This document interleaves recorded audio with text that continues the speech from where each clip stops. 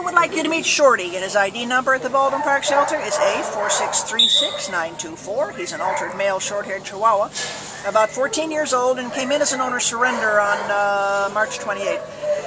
Which is always kind of a frustration when people surrender an old guy because um, they have a hard time getting out of here. It's uh, it's our job to network these boys and girls and to try to get them a home, but the seniors have a particular particularly hard time getting out because people kind of just see the negatives about them. But there are a lot of positives. This is a sweetheart, and he's a little more active than you might expect, right, Oh Kristen? yeah, From a he 14 is 14 year rearing to go. He loves walking. loves loves walking. walking. Walks great on leash and he's housebroken. Yeah. Like seems to be fine with other dogs. Likes attention.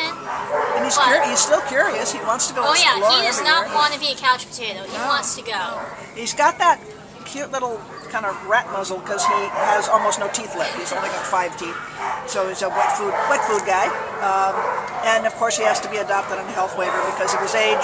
So that just means you take him to a vet and see, um, you know, what if he has any issues. But he seems, you know, normal for his uh, for his age. He's got teeth problems. That's you know always the case. That's why his little tongue is hanging out, which is adorable, by the way. So this is Shorty, and like uh, most of our seniors, he needs a little extra attention, a little extra help to get out of here. So if this is your kind of project, uh, please, please come and meet Shorty. Uh, he, we don't want him to be here too much longer. March 28th, he's already been here a long time. So he needs a home. Yeah, good, good boy. So long, Shorty.